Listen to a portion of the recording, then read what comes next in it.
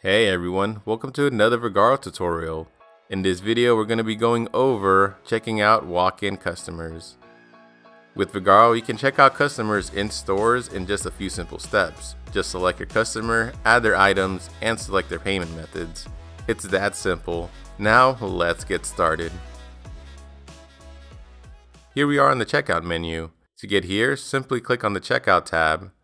Now select your customer from the drop down menu or you can create one by clicking here. The top of the checkout screen shows the customer's name, how many points they have, when they became a customer, their last visit date, their birthday, if provided in their profile, and any memberships they have. You can view the customer's history or edit their profile using Edit and History button. Now at the bottom, you can select Service, Products, Gifts, Packages, and Memberships. Next to that, you can type in the barcode for the products or scan them if you have a scanner. For this example, I'll add a service. Here we'll select a service provider and the service they have performed. If you have add-ons enabled for a service, it will pop up once a service is selected. You can see the service added here. Now you can add any discount, fee, or daily deals with this drop-down menu. Click the checkbox that is applicable if you add a fee, it will appear below the item here. The customer can use points and memberships by having this checkbox on. If the customer doesn't want to use their membership, you can uncheck the box and have them save their membership for another time. Now you can see the change due on the right side of the screen.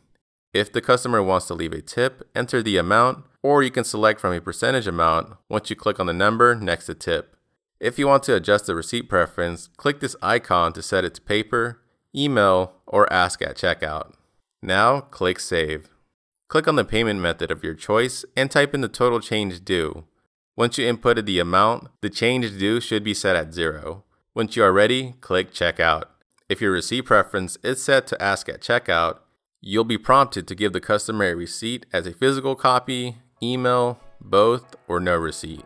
Click the option the customer wants. Now we're all done here.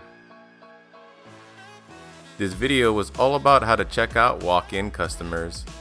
If this video was helpful, be sure to like and comment below.